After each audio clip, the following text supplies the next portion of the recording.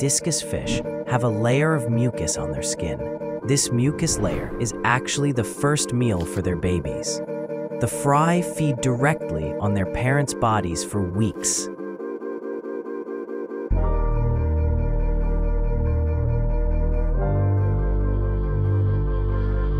Hey everyone, welcome back. In my last video, I researched cardinal tetra breeding and started preparing for that project. Today, I'm doing something similar, but way more challenging. I'm researching discus breeding. This is considered one of the hardest breeding projects you can do at home. I have two 50 by 50 centimeter tanks here, and I'm thinking one could become a discus breeding tank.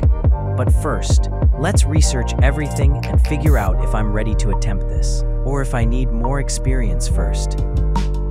First question, how do I identify male from female?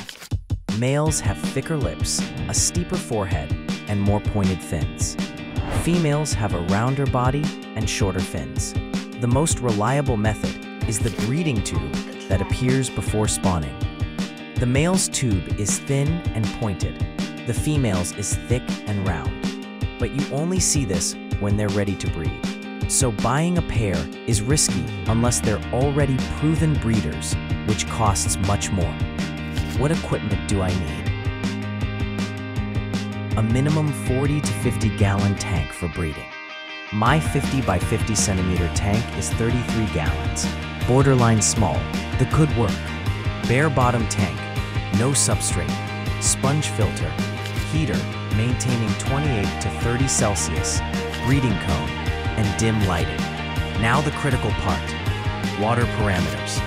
Temperature 28 to 30 Celsius, pH 6 to 6.5, very soft water, and daily water changes of 25 to 50%. My tap water won't work, but I already have an RO system, so that's covered. The breeding process. First, pair formation. Discus choose their own mates. This takes weeks or months. They perform courtship rituals, chasing other fish away from their territory, swimming together, cleaning the spawning site obsessively. When ready, the female lays up to 400 eggs in vertical rows on the cone. The male follows behind, fertilizing each row. This takes one to two hours. Both parents guard and fan the eggs constantly. Eggs hatch in 48 to 60 hours. Fertile eggs stay clear, infertile turn white. The parents are extremely attentive, fanning constantly, removing dead eggs. Any disturbance and they might eat everything.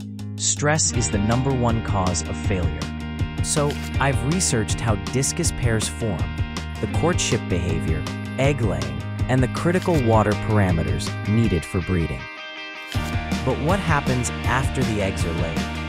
In the next part, we'll explore what happens when the eggs hatch. How do the fry feed on the mucus layer from their parents' bodies? What happens when inexperienced parents eat their own babies? And critically, after the fry stop feeding on the parents, how do we hatch Artemia brine shrimp? This live food is packed with protein and essential for growing healthy discus fry. If you enjoyed this research and want to see part two, please hit that subscribe button. It really helps me and Mika create more content for you. And please, drop a comment. Have you ever bred discus or hatched brine shrimp? Thanks for watching, and see you in part two.